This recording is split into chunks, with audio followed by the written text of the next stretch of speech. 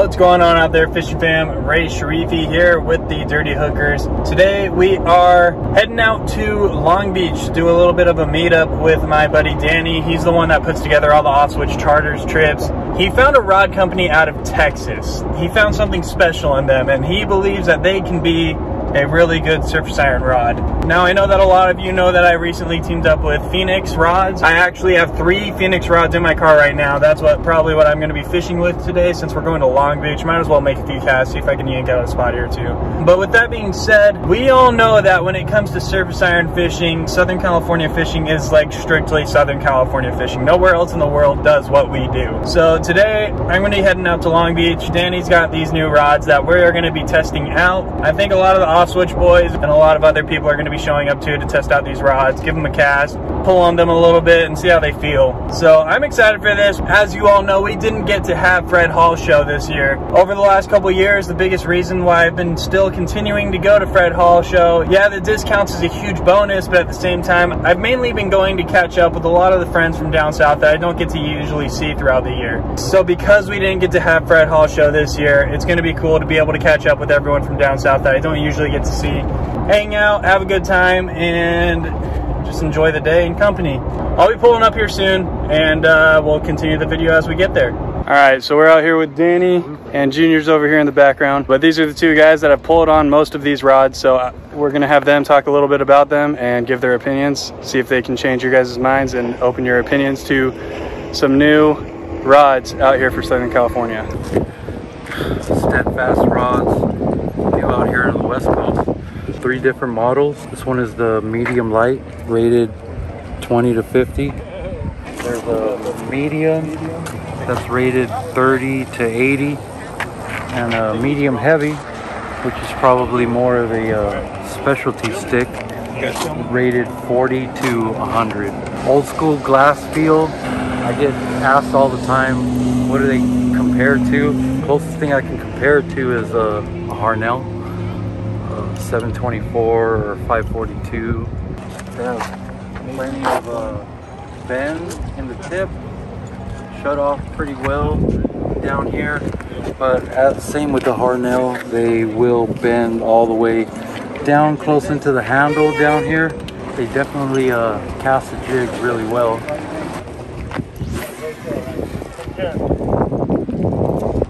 Cast this thing as far as you'd like with your own technique. So uh, they definitely, I think, have a place out here on the West Coast. If you like the feel of an old school glass rod, these definitely fall into that category. What about you, Junior? What do you have to say about these rods? Well, we got the medium here. It's a 30 to 80 pound. It's your heavier stick. You throw your Shimano Orcas on it, your Salas 7X. You can even throw a yo-yo on here if you wanted to, but these things cast a mile, the backbone bend all the way into your hand if you like that old school feel. Give this one a cast, see how it loads up for you guys.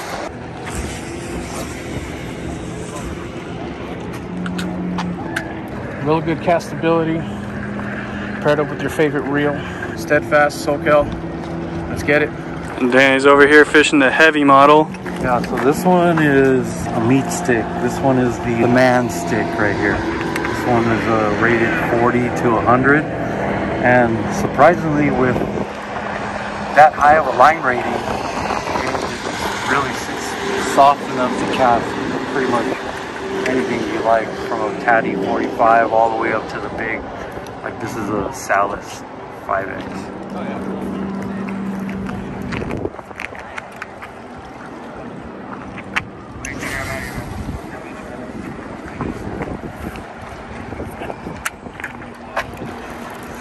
Trinidad, obviously real selection is personal preference, but Trinidad 20 feels pretty good on this. This is more of a specialty blank, Colt snipers, stick baits, poppers, casting into foamers. If you want to put the herd on yourself or the fish, um, this medium heavy rated 40 to 100 is a nice piece. Um, but it's definitely not for everybody. First thing you'll notice when you pick it up, it is pretty heavy. A little but, tip heavy. A little tip heavy, but lose in it being tip heavy, it definitely has a lot of backbone. So as you can see guys, it's got a lot of backbone on the heavy model. A lot of backbone on this one. Just like that old school feel, the bend in your hand. It's the type of rod for you. Definitely more of a specialty stick. This medium, uh, this medium heavy is. I know there's a lot of guys out there that like throwing the popper and throwing the surface iron at big bluefin, and if that's kind of your thing, this is That's where it's at. a very nice piece. Big boy toy. Yep. And personal opinions for both of you, if you were to choose an all-around jig stick for to cast all day at yellows, which one would you go with? So the most popular one is probably going to be the medium light, Okay. rated 20 to 50. Fish 40 pound on that all day. I personally like to fish my surface irons at 50 pound. So my favorite is the uh, medium, rated 30 to 80. I'm growing to like this one. I just don't know how much. Uh, How much you can ca- throw? Yeah, Definitely not an all-day thrower. Coming up on a foamer would be perfect with the big, the big uh, popper or Yeah. an orca, something like that. exactly. But I think the most popular is going to be the medium light, only because most people like fishing 40 pound.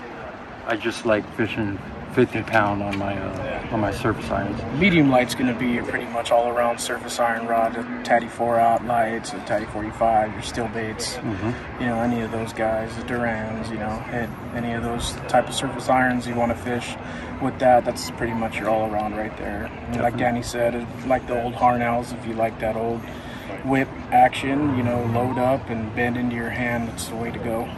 The Harnells will always bend down into in, down even into here. They're like ugly sticks, so you'll get the bend. If you really bend one, it'll bend down into here. This one will probably Shuts bend off. up up to about right here, but if you put a serious pull on it, it will bend down into the handle too.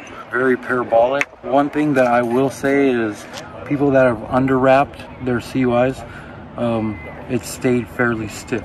I did not underwrap any of mine. I just went single uh, wraps around the base of the guide, and uh, they definitely softened up the the blanket. softened up. Not a lot stiff. You get a lot stiffer when you get that under wrap. When you do the over wrap over the guide feed, it allows the action to be a lot better when throwing. When you want that bend into your hand action, you know you don't want to go the full wrap.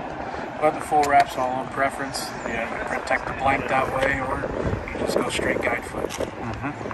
If they want to get in touch to get any of these steadfast blanks, where are they going to get in touch with any of you? Uh, no, steadfast underscore SoCal on Instagram. Get them through me, through JR at JR's Custom Rods. You Go through, hit me uh, up, go through me, and get them through Danny. Give you my cell phone number 909-717-3693. I'm always working on an order. Mike was nice enough to set aside all his medium lights and mediums for us out on the West Coast. We're pretty much almost sold out. I think we have enough for one more order, and uh, at that point in time, it's going to be a, a waiting game until he uh, gets another shipment in. So, uh, no pressure to buy them, but if you guys are on the fence and you guys want to get one, get in now because I don't know when the next shipment is going to be coming. If you guys want to come pull on them or anything like that, I got some stock at the house. So if you guys want to get the feel for them, let me know. Hit me up. We can set up an appointment. You guys will come down, pull a bend on them, throw them around, and see how you guys feel. I'm Nice. sure you can do the same thing with Danny as well. Yep. Yeah. All right, thanks, boys. Thank you, Rich.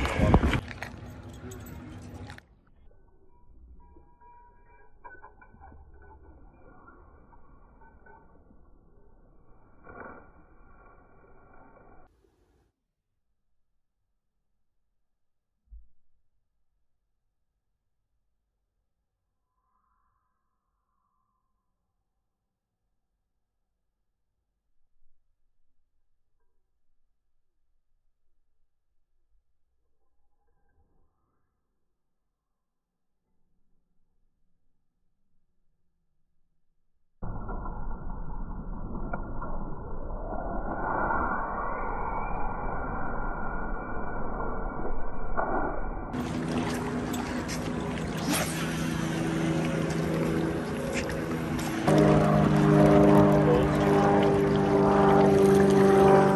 All right, guys, there you have it. All in all, really good meetup. It was really good to see all the buddies from down south that I don't usually get to see. The blanks felt pretty good, but to be honest, I spent most of the time just catching up with everyone, uh, enjoying a good meetup with all the homies. And and just to be clear, guys, I'm still totally committed to Phoenix rods, but this is just me helping out Danny, helping him get a little bit more exposure for these rods. He's really been trying to push out these blanks and rods for maybe about four months now. He's helped out me a lot and helped out the the fishing community in general. He's done a lot for the community. I'm just doing what I can to give back for him, and if I can help him get a little bit more exposure for something that he truly believes in, I'm going to do my part and do what I can. So hopefully that clears the air a little bit. Uh, what you guys will be looking forward to seeing soon, I got a spotty video coming.